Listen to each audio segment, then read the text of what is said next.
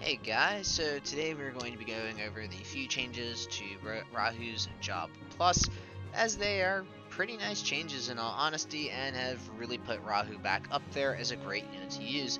Not that Rahu was ever a bad unit to use, it's just now she's even better. So before we get that, Rahu did recently get her OG skin for anyone who was interested in looking. And as you can see, it's got some pretty nice detail, and of course the animation is awesome. So, uh, just a quick over, because I've never actually overviewed Rahu before. Uh, here's my Kaigan, unless you're interested. Gate 1 for HP. I don't really think the Gate 4 is worth the uh, HP. She's not doing damage, so you don't need any of those uh, Sin modifiers. So I really don't think that wasting two Horns and two Sins on Gate 4 is a great idea. And honestly, I don't even really think she needs the HP from Gate 2. If you want it, you can go ahead and get it. It's just, in all honesty, in, so, in the maps I generally use her in, she doesn't either doesn't die or I kill her because I need to bring out a sub on like a raid or something. And she's like run out of skill casts or she's run out of jewels to use, in which case she's effectively dead to me because, you know, uh, gathering jewels is, for some of these uh, Chronomancer skills is not that fun as a lot of them do cost a lot to use. Uh, I did raise her gate 5 however because her gate 5 is actually great. And what it does is it is going to increase the range of her magical momentum or her overclock by 1 and also increase the cast speed to 500 up from 350 which is in all honesty that's just kind of stupid. I mean the, she casts it so fast now it's insane. Uh, there was no change to the height so you still have to deal with that. However you'd be surprised at the difference in feeling between 3 and 4 range on that as it just gives you way more options on how you want to position Rahu, which even makes it easier to run her at a lower HP without suffering consequences. And there are a couple of other things we can do to patch up that HP, such that you don't need to waste two sins on her gate too. So as for Nensous, you will be running Baltz Nensou on her. There is no other Nensou to run on her. There is only Baltz. And I've been over this a thousand times, and I'll say it one more time. It's because of that buff vision ability the 60 jewel one that's going to buff your weapon modifiers by 50 for like 3 turns and your HP by 50% for 3 turns. It is an insanely good vision ability, and it's made even better by the fact that Rahu can get an additional cast on it, so she can cast it twice. Uh, other options, you could always run Regenerator on her instead. That means that she won't need to get regen armor, giving you even better survivability. Clock resist to resist uh, all kinds of count manipulation. You know, there, there's a plenty of different things you can run on her. She's a great support unit. The only thing that you will always take is obviously your um, cast time reduction passive. You always take that. I need to raise Magical Barrier again too, because she recently got her um, Bishop JE, and I haven't re-raised that yet. That is normally my uh, passive of choice, as the other two are extremely situational in use. Uh, as for what you should run, you should obviously, in almost all circumstances, run her as a Chronomancer main with her Chronomancer sub, as she benefits greatly from having both of those. However, uh, recently in Japan, some of our auto teams have been setting up Chronomancers with uh, level 1 JEs, such as like Enchanter, because Rahu's uh, Zero Enchanter is just not that great. It's not an Elemental Enchanter, so, you know, unless you need, like, Dispel or something, there's no reason really to raise this. And the reason you would do this is so that way your uh, Chronomancer is less, it's not going to cast Overclock, because the way the Chronomancer AI works is it's going to cast Overclock, it is then going to try to quicken all of your units, and then it's going to cast Delay on the opponent. And the whole point of doing this is to cut out the middleman and get her to cast delay more quickly on an auto setting. Um, so, other than that, not much else has really changed about Rahu. As for the gear, we're just going to quick go down a list of useful gear to have on her, including uh, Japanese gear that you obviously do not have yet in Global. So, uh, the first piece of gear, you, you actually probably have Strie's Nensou by now. It's just a 3-star Nensou. It's nothing great, but it does have this nice rabbit doll uh, VCR. And it gives 30 to your max jewels. Remember, Rahu's a Chronomancer, so she starts with her max jewels, which means max jewels is a great stat to have on a Chronomancer. It's also going to come with plus one jump, making her uh, more easily able to navigate maps. This is especially important as uh, Quicken and Magical Momentum don't have very good height um, so the makes it very difficult to use on like really hilly terrain. Having the extra jump is going to let Rahu work her way around the map easier and get you those clock ups and those uh, quickens a whole lot more, much less painful way. Uh, it's also going to have 7 speed, and that's going to be her main speed item.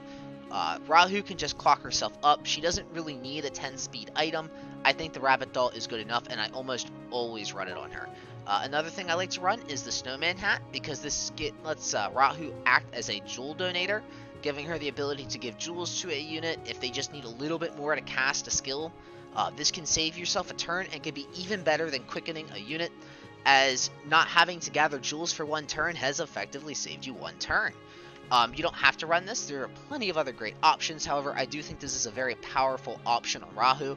Uh, another thing you might want to consider is I believe the Snowman Top Hat in Global from the Christmas event and the Global exclusive gear can also do the same thing, uh, but it can do it in an AoE, which is really, really nuts. So if you do have access to that piece of gear in Global, I think that is also an extremely strong option.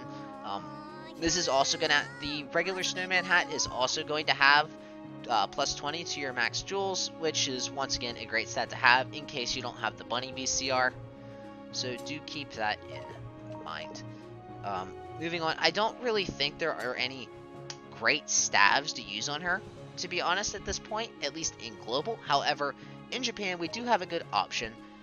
Um, I don't even know what this staff is called, but it does come with 20 healing, on it, which means that Rahu is, if she's running Regenerator, Regenerator is going to be more effective, or if she's running Regen Armor, the Regen Armor will be more effective, but that's not really the reason that we run this piece of gear.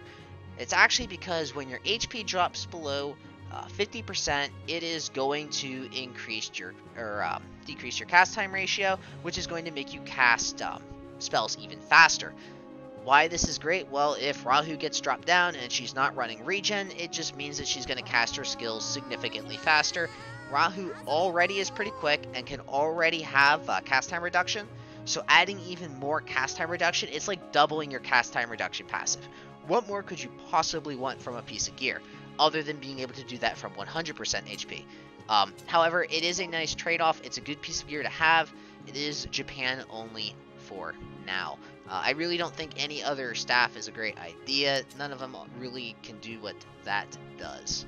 Um, for HP gear, you do have access to the um, uh, Retzius, that's his name, the Retzius uh, Scarf, which is 500 HP. It's just a good HP item to keep on hand that isn't going to take up one of your regen armors or one of your Tamamo VCRs on a map. Uh, just something to keep in mind any kind of HP gear is going to do. Just make sure you do run a piece of HP gear. Uh, moving on to some other things. The raid pouch is obviously always going to be an option for every unit in Japan, as 40 jewel gain is impossible to beat. I can't even describe how broken 40 jewel gain is. It's so broken, is it's hard to comprehend what it does to units you like gain multiple turns throughout a battle just by using this piece of gear alone. It is so broken. It is it's insanely good.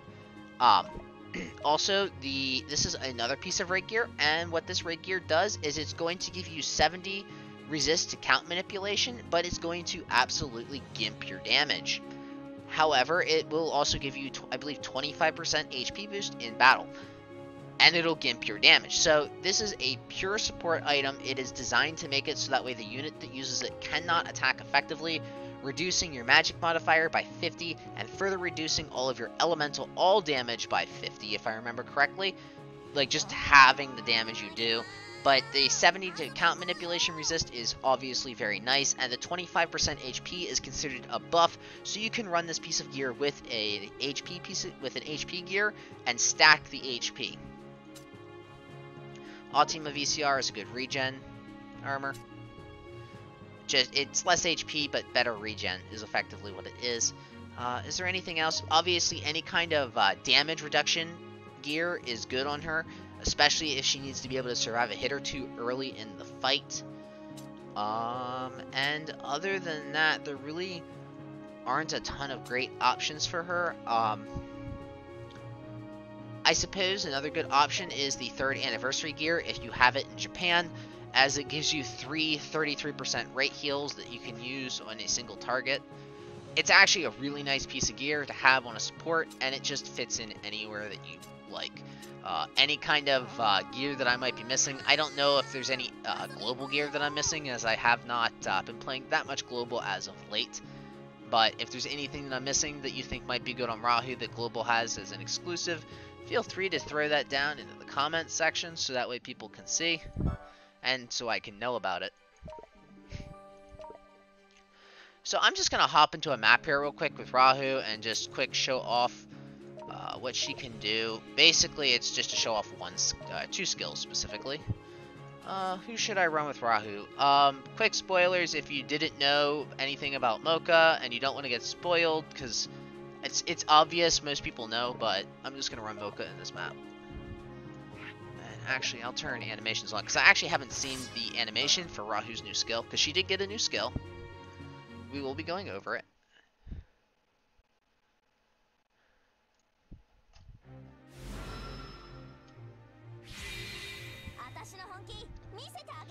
Alright, so here's Rahu in the map. As you can see, I think her uh, OG skin looks a lot better in the map because of the angles and stuff um, than it does like in the character screen.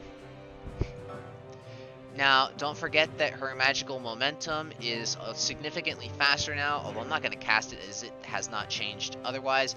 Just do note that, um, like, you can tell that it's farther away. If you use Rahu a lot, you can tell how much further this feels like, that four spaces, though. So, we're going to start with a Quicken.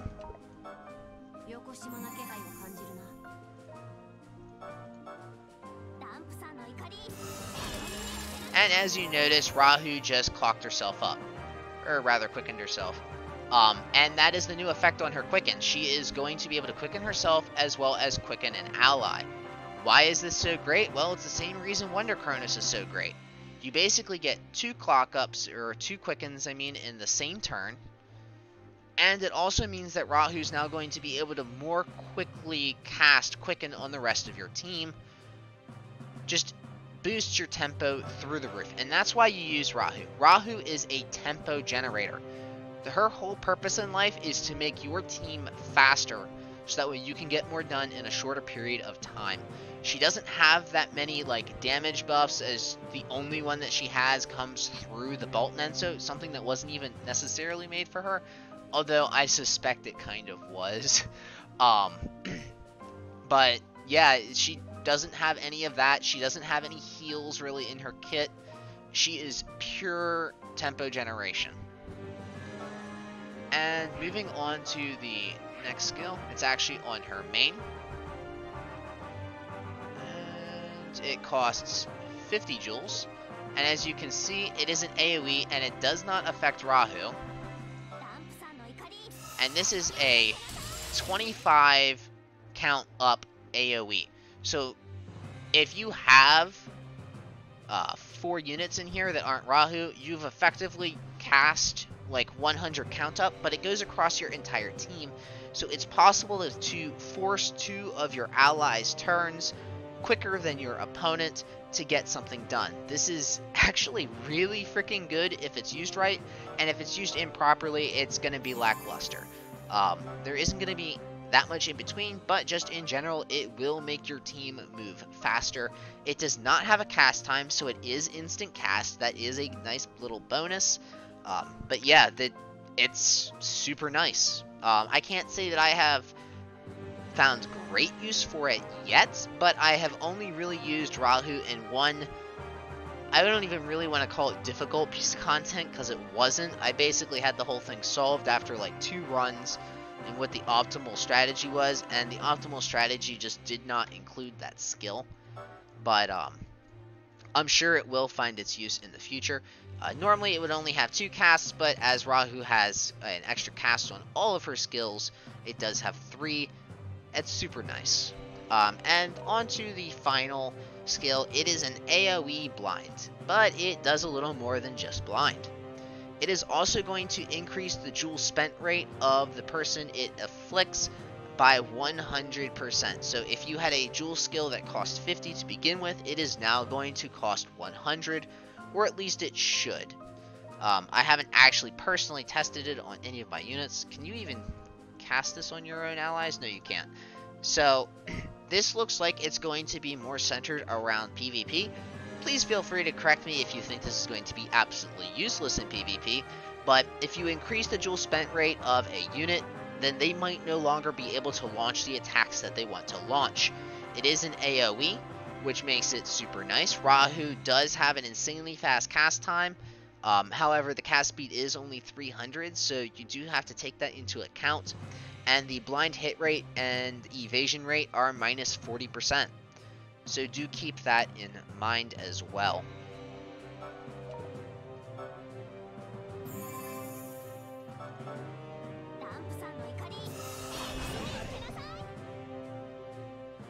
And there you have it.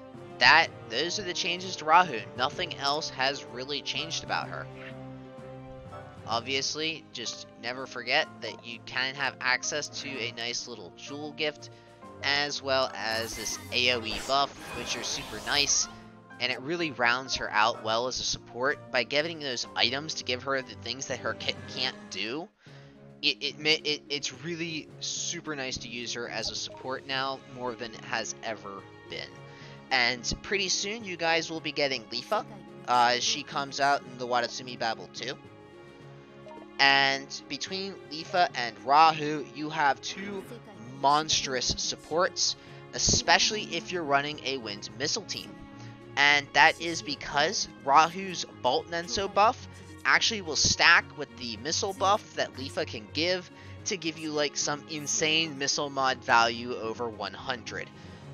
And that's like before Leafa's Gate 5. I think that with my Leafa's Gate 5 and my Rahu's Bolt Nensou buff, I think I can get a missile mod of 170 through buffs alone on my uh, archer units, which is kind of stupid. Um, I, I had my Seda doing like 75k hits with one of her skills, uh, using a combination of Rahu and Leafa as buffing supports, as well as just clocking up your entire team with Rahu to insane levels. Um, you can kind of see, I, I messed up. I, I don't think you saw the Seda 75k in the video I posted about the Setsuna Job plus uh, Hard Boss manual. But you can, you can see the um, you can see the general uh, idea though about running them together as they will stack and they can buff your uh, wind missile units to pretty nutty levels when combined. Anyways, guys, Thanks for watching as always, and I will see you next time.